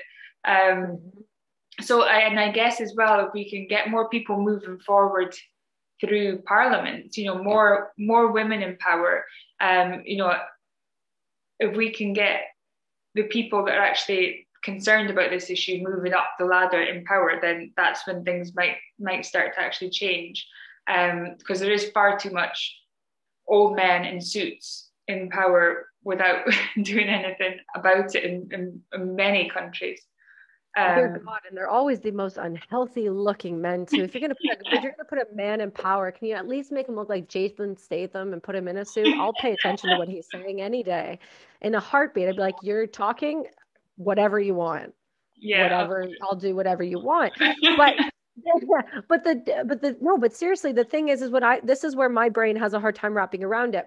We can all agree on NATO. We can all agree on the Geneva Convention. We can all agree on rules in different countries that it's you go to war there's just certain things you don't do why is it so difficult that those countries who are all part of nato already which by the way, Saudi Arabia, do we even need to get into that? that they even get to have a conversation or a seat at the table is fucking ridiculous. And it's only because the United States, they're their largest export of weapons. So, of course, they're going to let them do whatever they want, even though they behead over 200 people every single year. But we'll just let that fly. So, the thing that I don't get is why is it so difficult? To get NATO to sit down at the table and all agree that human trafficking is wrong. We're already a coalition. We're already a like minded, apparently, like minded group of countries that agree that you don't use mustard gas, that you don't do this to people, you don't rape and pillage. So, why is it diff- so difficult to us to sit down and have someone like you who is very articulate, very brilliant, somebody who knows her facts and research, who's been in that life itself, sit down and go, this is why this needs to change and this is how we implement it. I'm not understanding. Mm, I am. Um, well, it's a good point, and and again, it's something that um, me and Dean have talked about often. Dean said to me, "Why don't you get into politics?" Right, and I'm like, "Oh my god, it's too corrupt. I would last about five minutes in politics because I give a straight answer to a question, so it's going to be, um, I'd probably be kicked out immediately." But um, yeah, I, I guess that. I guess there's that area that there is that little bit of accountability where I say, yeah, well, maybe there, you know, my next my next stage is my TED talk, and I feel that once the TED talk's done, um, there'll be a next stage from there, and there'll be a next stage from there, and that um, maybe one day that is that is the aim to get something there. But I know that the, you know when I done that vision board 10 years ago and I said, what do hmm. we want? End slavery was there, you know, international policies were there. It was all it was all there. And I remember the international policy, I was like, how as you say, it's almost like child's play. It's like talking to an eight-year-old. Why is it difficult? Why is it difficult to say that trafficking of people, you know, people should not be bought and sold? End of end of story, like everywhere, like all over. People um, say there's nuance to it, but I don't believe that there is. They're like, well, you know, there's a lot more to it than that. It's really not that difficult.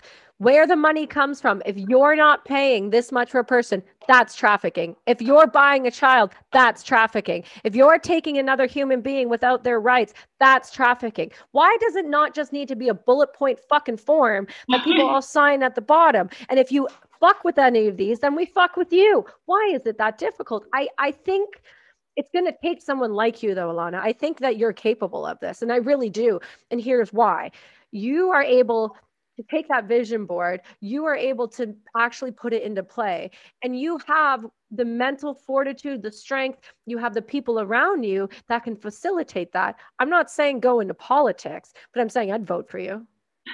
Awesome. Um, yeah, and I guess do you know what else I would say is that that if we can all understand that what we know, not everybody knows. And the way I would say that is when I first met Dean, um, Dean was, you know, British Special Forces. Got you've met him, you know, tattooed, bald, mm-hmm. muscles. He, he hung out with the guys. He was a guy's guy, very much um, a male focused world.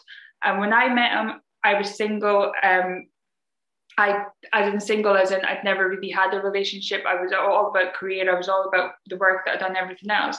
So I wasn't really interested in ever being in a relationship. And I just happened to meet him. We got together, and it was, it was when I explained to him about um, misogyny and and the male world and how we're still fighting. He was like, no, he was like, the world's pretty equal, and I, and I think and I said, okay, no problem, no problem. I'll let you. So I think the first time it ever happened and he came across it, he was like, Oh, that was what you were speaking about. And I was like, Yeah, yeah, it is, isn't it? And then more and more he was like, Oh my God, oh my God, oh my God. And he mm-hmm. sees it now because it was almost like he needed me to say, actually it's still happening. And I was on holiday recently with my, my little girl, she's nine. And she'd gone up to get a bagel from the, the, the stand and she she waited patiently in the queue, and then this guy came behind her, and there was one bagel left. He stepped in front of her and he said to the guy, "Can I get that bagel?" And the guy behind the counter gave him the bagel, and then said to my daughter, "Do you want some bread or something?" And Molly kind of came back with her bread, and she was like, "Mom, this just happened." And I said, "Okay, I'm going to explain to you what happened there." And I explained about this male had that power and he was speaking to this other male so they had this this connection he got the bagel over you and she was like, wow. And I said, that as a woman, I said, you're going to deal with that, but you're going to face it. And I'm going to give you tools along, on, along the way to deal with it.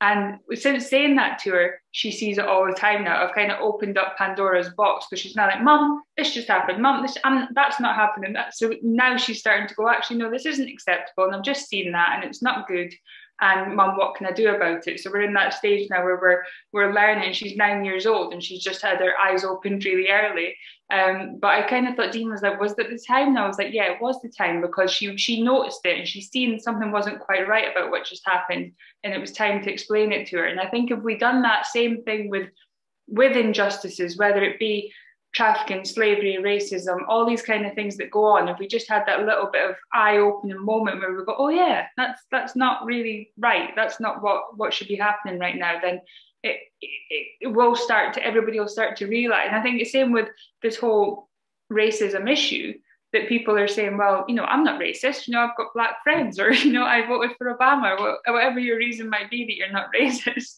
um, you'll find that there are little things that you do, we all do, that, yeah.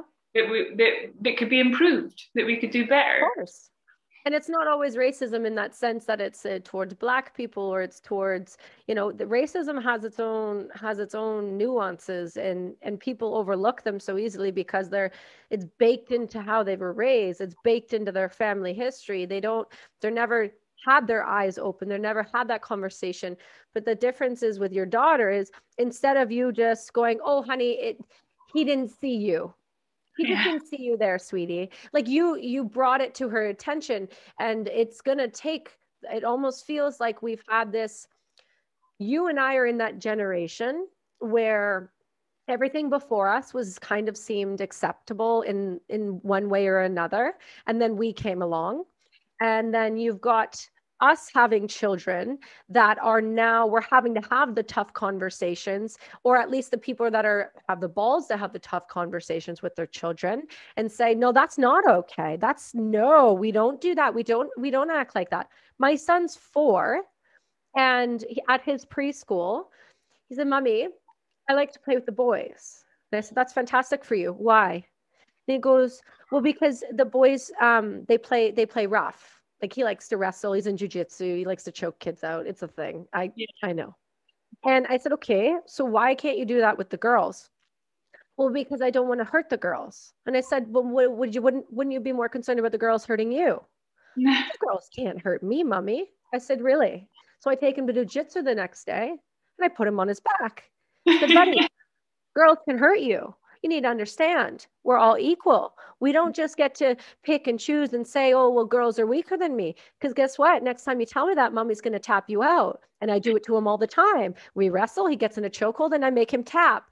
But there's there's a conversation happening though it's a dialogue it's an openness and a safeness to say mommy i don't know why i feel this way but i do feel this way yeah. it's okay well let me explain why you might feel that way and then we go through the things and maybe this is how we change it or maybe we look at it a little differently. It doesn't have to be more than that. You don't mm-hmm. have to go out and say, oh, honey, guess what? There's a good chance at some point in your life, someone's going to try to hurt you. But you don't have to do that. You can have an honest and open conversation based on the age of that child, but you have to have that dialogue and be willing to answer the tough questions. And if you, as an adult or a parent, don't have the answers, then you mm-hmm. need to go find them for that child because you're only doing the next generation a disservice by allowing them to think that the way things are in the world right now are the way things that need to stay this way. It's just not true. Yeah. Yeah. And I think that, you know, I actually, you made me think about, um, I was trying to teach Molly a little bit of tiny little bits of self-defense just just along the way she's she's doing karate just now and we were just doing a little bit of talk about it and uh, I was saying, you know, to be prepared for things. You know, we were walking through a dark car park at the time, and I said, you know, that people could come up. I said, so if somebody was trying to leg swipe here or something, and I just gave her a little leg swipe. I honestly didn't mean to put her on the floor. I was like, I'm so sorry. I was like, you were meant to be prepared. I've been telling you to be prepared. just always be on guard. I'm sorry. Dean was like, "Did you just leg swipe our daughter?" I was like, "I didn't mean to. She was meant to move. she was to supposed to move." I thought we talked about this. We had this conversation on guard always. It's it's okay. I my we've uh, we've done it a few times. Like I my I remember we were we were on a walk in the woods with my husband and and Jack was messing around and he he had he was trying to kick my feet out from underneath me. I said, "Kick my feet one more time, and I'm going to kick your legs out from underneath you." And he just looks at me, you wouldn't do that. So he goes to do it again. He takes two steps ahead. Daddy goes over and just whop, feet right out from underneath. What was that for? Stop kicking mummy. You don't get to kick people if you feel like you're bigger than them. You don't get to do things like that because I'll hurt you back. Like there's a line here where there's a there's a limit where you can get a, get away with things in teaching your children, and then some people who are just blatantly soft see that as child abuse. But I learned something recently, and I always thought this, but for some reason, when I heard Jordan Peterson say it, I almost like gave myself permission because I was like, he's a brilliant psychologist. Okay. He knows what he's talking about in childhood development. And what it was, was do not treat your children any softer than the world will. It's a good one. It's a good one. Because you need to prepare your children. You're only doing your children a disservice if you're not willing to teach them the way of the world. I think yeah. I mean, we've got Dean's probably like a little bit over the top with me than than I am because I generally do go and see if there's any blood first, or I'll check things out. Of course, he, Dean does the um the first, but you know they'll be crying, they'll be on the ground, they'll be giving it, be like, "What did you learn? What was your lesson from that? What, what did you do?" Uh. And then I'll be like, "Right, just give, give them a cuddle and then ask them what they learned." So it was actually um a little while ago. I don't know if you know when Dean broke his elbow. Yeah, I do. he was out playing on Molly skateboard, trying to be cool, went off on the skateboard, fell over, landed on the ground. Molly went over to him. First thing she said, What did you learn, Dad? oh my God, the karma that comes around. I just thought it was brilliant. He's literally lying there with a broken elbow, and she's like, So, what did you learn from that, Dad? And he's like, Yeah, lesson, lessons, Dad. That's right. You can't even be mad about that. It's like you gotta go, okay, get Molly, give him a cuddle okay now what did you learn? Now this is how we do it. But that's the truth of the matter is if we're not going to prepare our children for the world they're going to walk into they're going to be ill-equipped. Mm-hmm. simple mm-hmm. as that. And it makes them easier targets. And it's as hard and, and traumatic as that sound it's not to scare or, tra- or uh, traumatize a child but it's to let them know that there are people out there that may not always wish them well or have well intent for them and to prepare them if that ever comes the case to do everything they can to make sure that they don't become that next victim. Unfortunately we can only do what we can do. But what i do know is it's people like you though alana that are taking the steps to educate and i'm grateful that dean met you. Number one we wouldn't have a great you know, a great person as an example in Dean if you didn't kick him in the ass and say death or divorce. That mm-hmm. to me was my favorite takeaway from that entire book. I'm not exaggerating at all. I think it takes a woman with a massive pair of balls to say, death or divorce, baby, this is what's happening because I'm not, I'm not doing this. I'm not a doormat. I don't deserve it. I don't need to not that he was doing anything to you to harm you but it's like you're you're owed something more you know mm-hmm. you you saw value enough in yourself to know that you deserve something more. And it takes a lot to say that to a grown man that looks the way Dean looks. Just it does. And he's just a big dude. It's just what it is. Like yeah, the guy could like I'm not even going to get into it, but he could break you and like before you know you're broken. And so it takes a lot for someone to do that. And so for you to be able then be the person that you are and I don't even say, you know, I, I don't even want to say his wife. I want to say you're more than that. You're a partner. You're an example for your children, but you're an example for the rest of the world. And you guys are a power couple in the best way possible. You're not a power couple making billions of dollars, riding on your yachts, teaching your kids that they can have Fendi purses at three years old. You're not a Kardashian. You're giving them life skills. You're teaching them properly, and you're doing it in order for the greater good. You're helping the world be a better place. And it's going to take so many more people like you. But I think that you've not only sparked something, you're going to continue to educate. I'm so excited to hear your TED talk. I wish I could be there to just watch you do it because it's I know how powerful and impactful that it is going to be and to get that platform to tell that and educate in the way that you're going to you're going to knock it out of the park you're going to be the reason this changes I'm glad. I'm glad you can pick up on the Scottish accent as well, because that was the that was the that was the biggest nerve about it. I was like, if I get on that stage and nobody understands mm. me, I'm gonna be. Your accent's not that bad. Cool. It's not that strong. Trust. I the guys I I served with from I can't even say it right. It's like Edinburgh. How do I say it? Yeah. Did I say it right? Yeah. So those guys, now those guys, I I have a hard time even getting on a phone call with. I cannot understand them. And I served with them and I talked to them on a regular basis. And I'm like, are you going to come on the podcast? They're like, yeah blah, blah, blah, blah, blah, blah. And I'm like, I don't know what you said. So this is going to be troubling for me. Like yeah. if I have Bucky or I have Watson or any of these other guys on, I'm I'm I know for a fact it's going to be an issue. But you speak, you're fine. Yeah. Oh, you're. Yeah, I think Dean says that about you know when they would do calling in the Jets and stuff, and sometimes they'd have the one from Glasgow, and they were like, "What?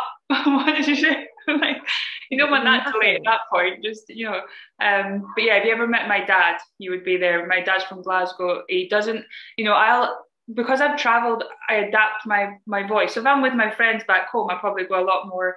Um, but dad, my dad never adapts his voice. He speaks in that Glaswegian accent constant. And I've seen him. We were in Thailand once, and he was speaking to this Thai lady, and she's just looking at him like, "What? What did you just say? I've got no idea at, at all." Um, so I can't wait till he gets over here because the Americans are just going to love the oh pretend. they're going to fall you know, so polite. Yeah. no, they are. They're going to fall so in love, but it's no different. Like some of the Americans, you go down to Baton Rouge in Louisiana. You're, what did you just say to me? I've, I've traveled all through the United States with my dad and, and, and then for work and then the Americans when I worked with them. And there are just some accents that there is no way no way you are having a conversation and getting everything they're saying but you're going to be just just so so fine. So don't let anybody tell you otherwise. And if anything it's a good accent to have. At least it's one that's understandable. Yeah exactly yeah. And uh, and pretty much everybody in america is scottish or irish anywhere so, so i know. I I just found out like my mom got me one of those ridiculous tests and my mom's side is Hungarian. So my my grandfather came over right after the Soviets invaded um, Hungary after the war and um, he his accent was brutally thick. He barely spoke english and, and refused to teach anyone hungarian like just not happening because i'm not doing it. And i and i lived my life with that. And then i found out i was like oh i'm hungarian. I'm like super hungarian. And then i found out i was like oh no you're super scottish and irish? You're super scottish and irish. And i was like oh yeah that makes a lot more sense as to why i look nothing like my mother's side of the family. I only look yeah. like my father the burns side of the family my maiden uh, yeah my maiden name is burns so oh. it's like the definition of everyone apparently over there but the the thing i'm i'm i want my listeners to take away from from this conversation is absolutely nothing i've said and everything that you have because you have brought so much light to things um ter- like terrifying facts that I do think need a louder voice, and I I know the TED Talk is the platform for you is just going to skyrocket your initiatives. And if there's ever anything that we can do to help, I'm more than willing to help you scream from the rooftops. I'll hold the microphone for you and then I'll just project it as far as I can because your message and your goals are um, not only admirable, but they are tantamount to those changing the world and can be compared to nothing else but that. And I don't think that you should be compared to anybody else that because nobody else is doing what you're doing and doing it at the level and with the passion and the compassion um, that you are. And I think that's so important, Alana. I really do. Oh, thank you very much. Thank you for having me. It's been great. It's been great. It's actually probably the first time I've been on the podcast where the whole conversation hasn't been about what's it like being married to Dean. So it was nice change. Nobody cares. Why would you want? Why would I give a shit what it's like being married to Dean? I was in the military. There's a reason I didn't marry anybody from the military. I'm good, thanks. Sorry, Dean. I know that just probably ruined my chances of you coming back on, but that's just the truth, buddy. I know what y'all are like. Um, and there's nothing wrong with that. It's just, yeah, no, there's no the no need. You are a powerhouse and a standalone all on your own. You don't need to be in anybody's shadow. You are the shadow. You leave the shadow, and you're gonna lead the rest of this world to be a better place. And I truly believe that. Can you do me a favor? Can you tell everybody your social media and anything else where they can reach you or help you with your initiatives in moving this forward and educating the public on this very important topic? Yeah, sure. Pretty much just Alana Stott across the board. Alana Stott on Instagram, Twitter, um, LinkedIn, and my website is just alanastott.com. So, what's going on with TED Talk? When can we expect to see this out? Um, well, I'm hoping it's um, I'm hoping to get on the one in the end of December, which is TED Women. So um, we are. I'm working with a, a, fantastic speaking coach right now, and she's she's putting together the help me put it together. Which we're we're, we're nearly there. So I just need to get a bit more um, hand movement going on and a bit more present. The, the, the, words are there. I just need to look look good on the stage doing it. So um, so yeah, the the the, the uh, I'm more of the the covert, Dean's the overt. So I'm trying to learn to be a bit more Dean for this this one. I don't think you need to le- learn to be a lip more Dean at all. I think you're just fine just the way you are. And if anybody tells you any what, anything else, you can feel free to send them my way and I'll smack them upside the head. And listen, you need help with hand gestures. I'm like the queen of talking with my hands.